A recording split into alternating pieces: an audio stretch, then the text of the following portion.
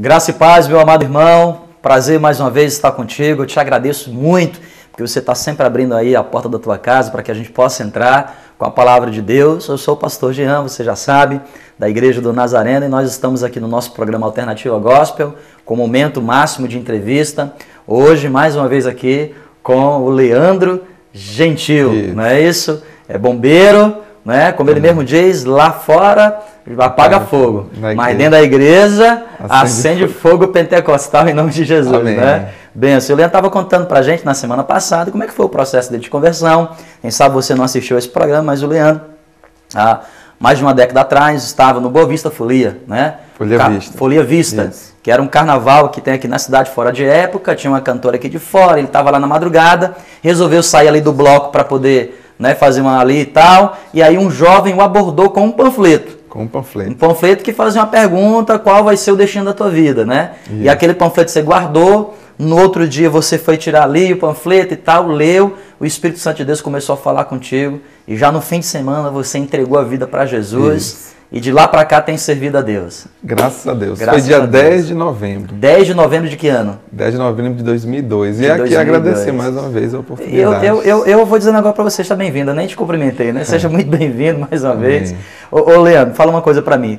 Como Deus ele é, é, falou contigo ali num processo né, de evangelismo, eu tenho por mim que você gosta demais de evangelismo. Demais, demais. Demais, gosto né? muito de evangelismo. Você até falou para mim que, é, que é, tem um cargo aqui na, na é, Assembleia de Deus. Coordenador de evangelismo. De evangelismo. Isso. Fala para a gente um pouco sobre isso, como é que é esse, esse, esse essa função? Hoje, é, nós trabalhamos com evangelismo em todo o estado. Todo né? estado. Mais empenhado, por enquanto, na, na capital, que é um departamento que não é muito antigo. Então, Sei. ele está em processo de crescimento, uhum. é, liderança, coordenações e tudo isso. Então, é um trabalho que nós fazemos é, cada setor, porque a nossa igreja aqui na, na capital, Sei. ela é dividida por setor, são 20 setores. 20 setores aqui na capital. Isso, e cada setor tem um coordenador de evangelismo, então nós trabalhamos com eles. Certo. E eles trabalham com as congregações. As congregações. Evangelizando todos os E qual é a sua função? Você é um desses coordenadores? Você tá, Não, você, eu sou o diretor, diretor geral. Você, esses 20 coordenadores respondem para você. Isso. Então, basicamente, o evangelismo aqui no estado para a Assembleia de Deus, ele passa pela tua mão, então. É, e, é? e foi um, uma oportunidade que Deus nos concedeu através do pastor Isamar, quero uhum. mandar saudação para ele aqui, nosso pastor presidente. Deus colocou no coração dele de me colocar lá, porque realmente o, o Deus, quando dá a visão para o homem, ele vê claro. né, quem gosta e quem não gosta. Quem não gosta e a gente é. sempre desempenhou esse trabalho, porque uhum. Foi onde Deus me chamou. Entendi. Deus me chamou através de um evangelismo de madrugada e nós fazemos evangelismo Sim. em alguns bairros da capital de madrugada. Que benção, que é, benção. Acontece alguns eventos, nós estamos lá evangelizando. Tem também. gente que acha que isso não vale a pena, né, rapaz? Olha Mas só. Você vê, você está aqui hoje do meu lado contando, dirigindo uma igreja e você é produto de alguém que na madrugada se desprendeu, desprendeu para te dar um panfleto. Isso mesmo. Ele falou contigo ali o quê? Quanto tempo ali aquele moço falou contigo? Uns eu, 30 segundos? Um, nem um minuto. Nem menos um de um minuto. Ele entregou o folheto e disse assim: Olha, Deus não te quer aqui. Aqui não é o lugar que Deus preparou para você. E as, mais ou menos essas palavras, né? E me entregou o folheto. E dali em diante Deus fez Deus a obra. Deus fez a obra. E te tratou. Me tratou. Hoje é, hoje, que nem o, o, senhor falou, pastor, hoje eu sou bombeiro. Uhum. Se não fosse a minha conversão, talvez Verdade. minha vida seria totalmente tá outra, diferente. diferente. Você é casado? Sou casado, graças a Deus.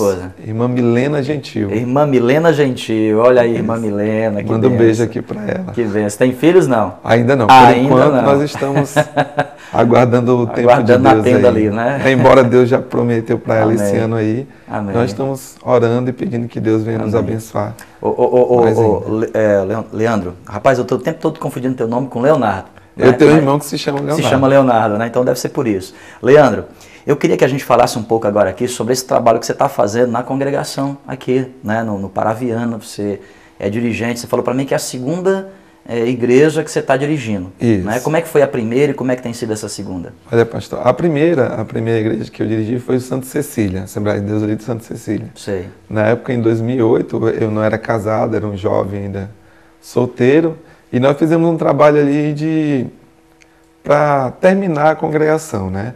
Não chegamos a terminar 100%, mas foi um trabalho assim, seis meses bem bem intenso. Intenso mesmo. Graças a Deus nós chegamos a inaugurar a igreja. A congregação, no final de 2008, onde teve é, se não me engano, foi 100 inaugurações na capital uhum. da Assembleia de Deus e lá foi uma das primeiras. E agora no Paraviana é a minha segunda congregação que eu dirijo, já casado. Já casado. casado. E a gente pode desempenhar um trabalho bem melhor, né? Uhum. Com minha esposa que tem me ajudado bastante. Nós estamos lá um ano e dois meses, um ano e três meses, na verdade. Certo. Na congregação do Paraviana. E graças a Deus tem, Deus tem feito coisas grandes. Coisas. Tem evangelismo lá, não? Com certeza.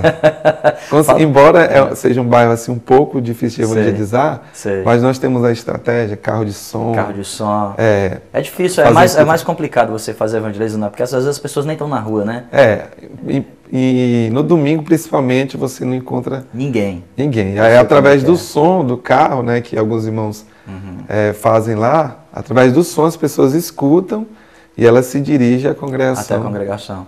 Você estava falando para mim também, é, Leandro, que você faz um trabalho de discipulado, mais discipulado de dia a dia. Como é que você faz esse trabalho na igreja? Isso. É, nós é, visitamos irmãos, né, porque é, tem pessoas que se firmam. Eu, por exemplo, ao ter Jesus, nunca ninguém foi me visitar. Entendi. Né? Mas já tem pessoas que precisam, que precisam de você é e, e, esteja lá presente, compartilhando as dificuldades. E assim, quem se coloca na obra de Deus, você tem que encontrar tempo onde não tem. O senhor sabe é, disso, né? Verdade. Então, às vezes, a gente está bem pouquinho tempo, mas nós temos que ter esse acompanhamento de estar pelo menos ligando, mandando uhum. uma mensagem. Hoje nós temos a internet aí, né? Entendi. Nós podemos usar várias formas para evangelizar, redes sociais, SMS, então... Tá junto para poder fazer esse tipo de trabalho, né? Você tem um trabalho lá com jovens também? Com jovens lá nós trabalhamos, eu trabalho assim, um pouco voltado aos jovens e aos senhores. A minha esposa já voltado às senhoras. Às senhoras. Também tenho trabalho com as crianças, né? E graças a Deus, Deus tem abençoado mesmo. Deus tem aberto as portas ali. Tem. E você sonha com essa igreja? Qual o seu sonho hoje? Se eu pudesse perguntar para você, eu vou te chamar de pastor aqui, velho. Pastor Leandro, né? É, como é que qual seria o teu sonho para essa igreja? Para o Paraviano, hoje, nós já estamos crescendo, a igreja está crescendo, que daqui a pouco não vai caber mais, mais os irmãos gente. lá. Nós vamos ter que fazer o dois cultos. Mas minha, o meu desejo mesmo, pastor, hoje, é que nós venhamos abrir um, um, uma igreja aqui no Caçaria, onde no não Caçaria. tem nenhuma... Nenhuma Assembleia de Deus. Assembleia né? de Deus. Amém. É.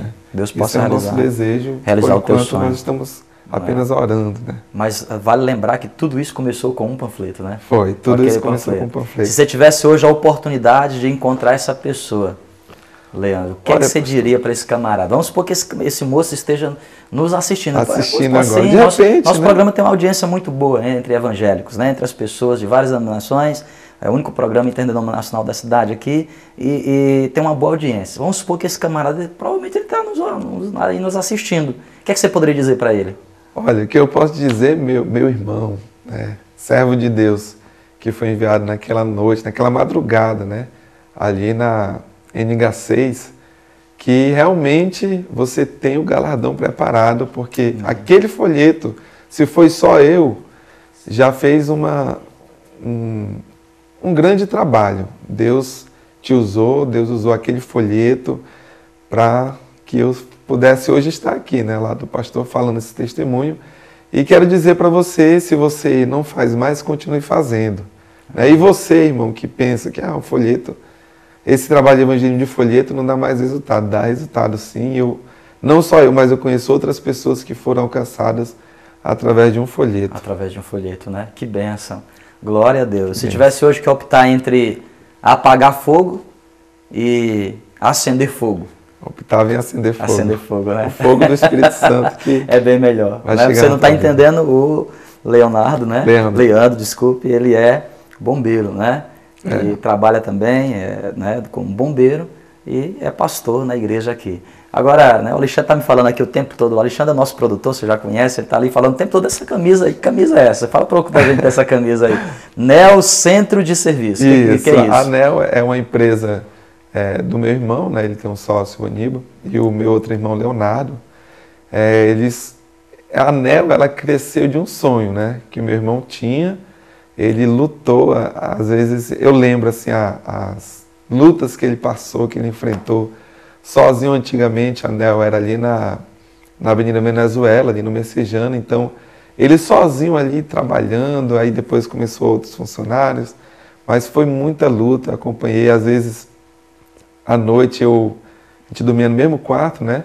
E eu acordava, e o Laércio lá acordado, pensando, se preocupando com as dívidas, porque no começo é difícil. É difícil. E aí sempre eu orava por ele. Quando eu chegava da vigília, às vezes ele dormia de madrugada, ele não, não, não sabe disso. Estou ah, revelando aqui tá agora. Está revelando agora, você está vendo aí, Laércio? Eu aí, chegava e orava assim por ele, pedia para que Deus abençoasse, abrisse as portas mesmo. E hoje, graças a Deus, a Anel está aí. É uma empresa bem conceituada na cidade para a glória de Deus. Amém. E Deus tem abençoado. Nós somos três irmãos, né? Eu, uhum. Laércio e Leonardo. E trabalhando ali junto, né? Nós três procurando unir força. Às uhum. vezes há aquelas dificuldades entre família, né? Entendi. né? Mas, mas, mas tá, Deus está dando graça, né? Deus está dando graça, Amém. Deus está abençoando muito. É, realmente. Para quem não sabe, para quem não sabe, a Anel, né, é uma empresa de tecnologia, não é isso? Isso. Que é especializada, né, nos produtos da Apple, não é isso? Isso. Hoje é, a Anel é vendedora autorizada da Apple. É a única da cidade. É, é vendedora autorizada. Pelo meu conhecimento, pastor, por enquanto é. Ah, Pelo é, meu conhecimento. Eu não sei se, se, se tiver tem, alguém, é. me perdoe. É. Mas por enquanto que eu saiba, a NEL é a única. E nós estamos lutando aí para que seja assistência técnica autorizada. Autorizada. Ô, rapaz, vou orar. Vamos orar. vou orar para que, que seja, né? Deus, Deus pode fazer. Deus né? pode fazer. Deus pode fazer. E, e, o incrível, pastor, é que no norte do Brasil, até onde eu sei, só existe em Belém. Nem Manaus não tem. Não né? tem, né? Nem Manaus que não coisa, tem. Que coisa. Então, mas agora a NEL está aí para crescer. Amém. Olha, eu desejo que Deus possa te abençoar muito, viu? Amém. Eu fui muito abençoado Vou aqui com a tua entrevista. Aqui, Oxe, um suquinho fica à vontade, né? Eu fiquei muito feliz aqui com a tua entrevista. É, vejo que como o nosso Deus é grande, né? E tem pessoas que não acreditam ainda no poder de Deus, Deus é nem poderoso. do Espírito Santo, porque de fazer o que Deus tem feito, meu irmão, na tua vida é só Deus, não há explicação para isso. Só Deus mesmo. Só Deus pode fazer, viu? Só Espero Deus. que Deus possa te abençoar bastante, abençoe tua família, teu ministério, tua casa, né, tua igreja lá, né, a empresa que você trabalha, lá com teu irmão, em sociedade, que Deus possa te abençoar muito e que você possa tocar muito fogo mesmo, né? Na vida das pessoas, muito evangelismo. Fogo espiritual. Fogo espiritual. E volta mais vezes aqui, né? Para falar um pouco desses programas de evangelismo que você tem feito aí na cidade. Você tem espaço aberto aqui em nome de Jesus, tá bom? Com certeza. Vamos voltar. Eu agradeço mais uma vez pelo convite e que Deus venha nos abençoar cada dia mais. Amém. E você que está aqui nos assistindo, obrigado pela tua audiência. Olha, espero que Deus possa ter falado bastante com você e que Deus possa mudar a tua vida. Procura uma igreja, procura um ambiente para que você possa servir a Deus e faça como o nosso irmão aqui. Deixa as coisas, as práticas erradas e vai para a presença de Deus. Eu tenho certeza que Deus ele tem muita coisa boa para a tua vida. O desejo de Deus é sempre de te abençoar, de te fazer feliz. Fica na paz do Senhor e até o próximo fim de semana, em nome de Jesus.